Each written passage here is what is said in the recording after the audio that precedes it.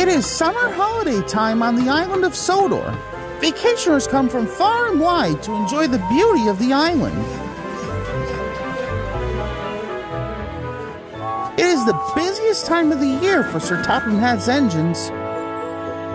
Thomas was excited.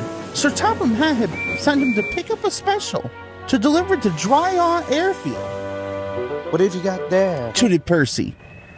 A balloon? Replied Thomas. A party balloon? Asked Percy excitedly. No, it's a very special balloon, said Thomas, and he chuffed away. Soon Thomas arrived at the airfield. And hot air was puffed into the balloon.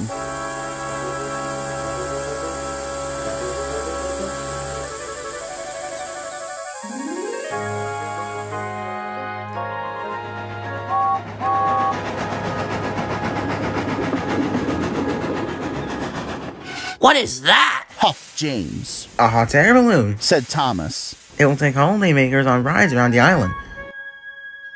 Taking holidaymakers around the island is our job, wheezed James jealously. Then, as if by magic, the hot air balloon rose silently up into the sky. What if the hot air balloon takes our passengers away? chuffed James. What will happen to us then?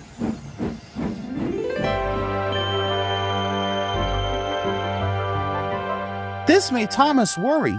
Suddenly, he wasn't so excited about the balloon. The balloon could be seen by everyone on the island of Sodor. Duck gazed at it for so long, he ran into the back of Stepney. Ah, oh, tis a floating basket with folks in it, chuffed Donald.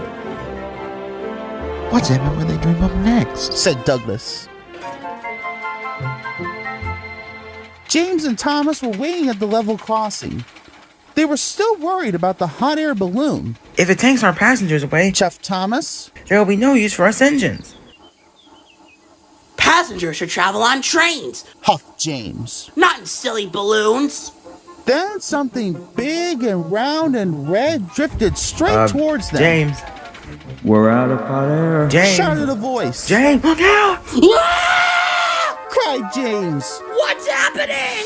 Crash, bang, whoop went the balloon and landed right on top of James. He was so scared, he let out a huge burst of steam, which blew the balloon up again.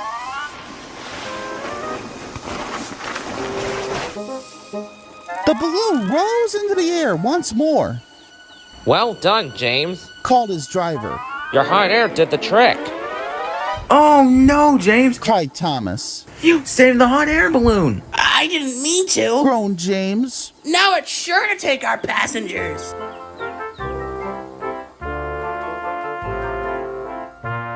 Wherever James went, he could see the balloon carrying vacationers across the island.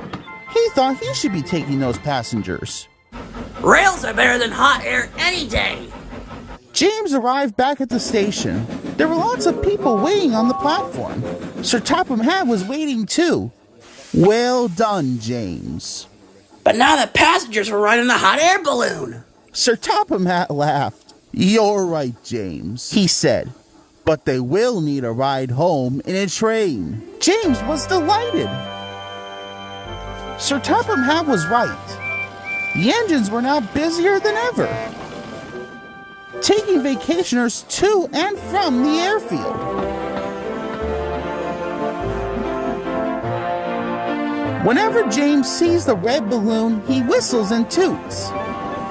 And sometimes when he's asleep at night, James dreams he can fly too.